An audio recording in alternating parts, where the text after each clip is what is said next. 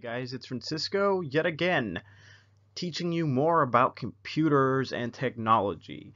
So today we have a pretty interesting subject, but before we head on over to the next slide, why don't you guys hit that little subscribe button and help us out get some more following so we can do bigger and better things and reach a wider audience because I'm sure someone somewhere will find this interesting and it will definitely help them. And just in case you're that guy and didn't read the description or title, today we're going to co cover audio-visual equipment. Wow, 8K already. Yes, there is already 8K, but it's not going to be mainstream for a while. We're still adopting 4K, but we're moving so fast in technology that we already have 8K lined up. So let's continue on with this course. Alright, so let's talk about the video equipment. Uh, what we're going to cover in video equipment is smart TVs, standard TVs, monitors versus TVs. And I have a little bonus section for you guys because I kind of want to dive into detail because this is such a basic uh, subject.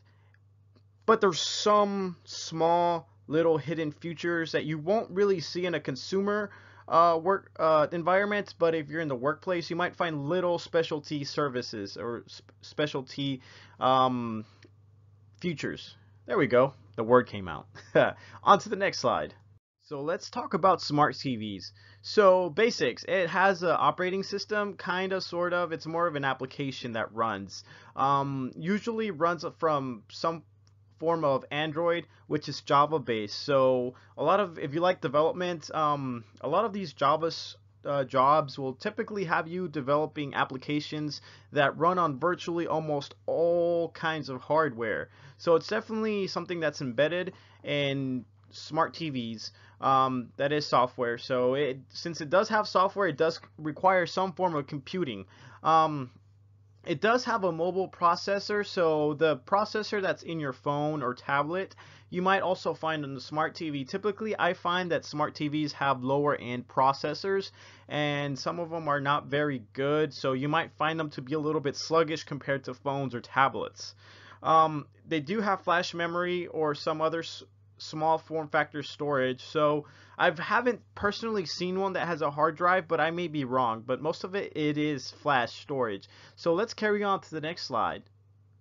So let's talk about standard TVs. Standard TVs, um, those are plain TVs that just output a video signal. They have no operating system, only display video output, and may have some simple control board. So it has some very basic logic that will let you switch over from inputs and um, some menu options where you can resize your picture and uh, you know figure out what it wants to do with the video signal that it's getting. Uh, they're definitely a little bit smarter than TVs back in the olden days. You know those big CRT, um, those big cathode TVs that just like hurt your eyes and uh, burned people's eyes out. That's why I have glasses, by the way.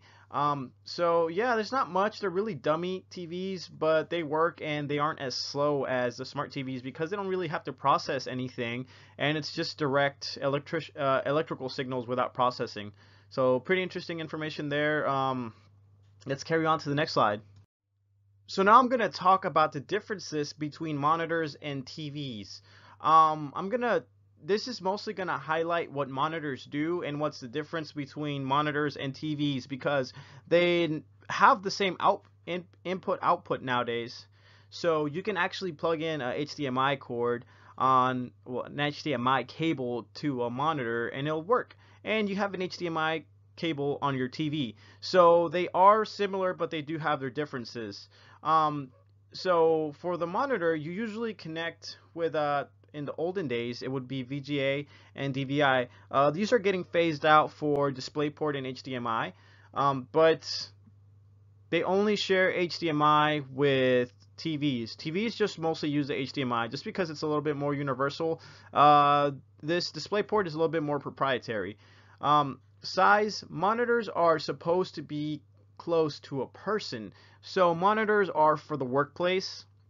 They're not for you know, you might see them on POS systems. Uh, that's point of sale systems that whenever you go to a store, they have a monitor.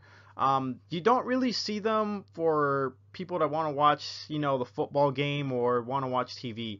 It's just not used for uh, entertainment. I mean, they are used for watching movies, but more than more than likely you're gonna use them for work because they have a higher pixel density. Uh, so it makes it easier to read documents. Have you ever tried to read a Word document on your TV? It's very, very hard because they don't have the right DPI settings so you can differentiate and see that crisp letter. So I'm going to go ahead and move on to the next slide. And monitors are made for productivity.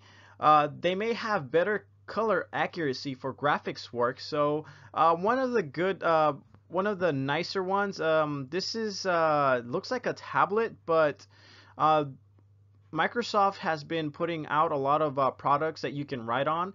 And this has a little dial, which looks like one of those Surface uh, Surface desktops. I can't remember what it was called, but it's like it's like an all-in-one computer where you have the processor and uh, storage on the actual monitor and it's really nice because this one has a graphics card and it has such good color accuracy and it comes with a pen so you could do a lot of graphic design work.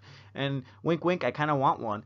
Um, so maybe a touch capacitive for artists. As you can see there you can touch and they have like a little pen and they have like the super cool dial which a lot of developers haven't uh, adopted yet can be tilted in directions useful for different productivity purposes. So maybe you want to draw, maybe you want to view something, maybe you want to write. So you can definitely do all that with this device and it kind of swivels up and down. You should Google it by the way, or actually better yet, go on YouTube and look it up. Next slide. So last but not least, we're going to talk about specialty monitors. So gaming. Computer gaming has been so popular lately that we have so much computer processing power for the graphics that monitors can't keep up with it. So some graphics cards are outputting over 60 frames per second. The problem with that is that most monitors cap out with a refresh rate of 60 hertz. Some below, some a little bit higher. But the problem is that you can't really enjoy your graphics card because you have a lot of things like screen tearing and whatnot. So whenever you buy a specialty gaming computer or sorry, monitor, they're able to refresh at a higher clock rate. So that's definitely something that's very unique to the gaming uh, computers. So let me go ahead and highlight this. This is what we're talking about. And this is a gaming monitor. They're really cool, really nice, and they're expensive. So there's also studio monitors that have a higher color accuracy. So if you work with Photoshop and you do marketing or some kind of uh, graphic design, you want to make sure that the colors that you present to your client are accurate. So whenever you go and print, they represent something that is very accurate to true to life of the color. So that's definitely a special application there and it definitely is very specialized and applies only to a few people.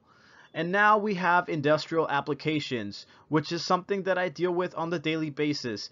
So usually these might have an integrated computer that allow people to, you know, control certain machines or maybe even interface with like security interfaces that are part of like a house or building.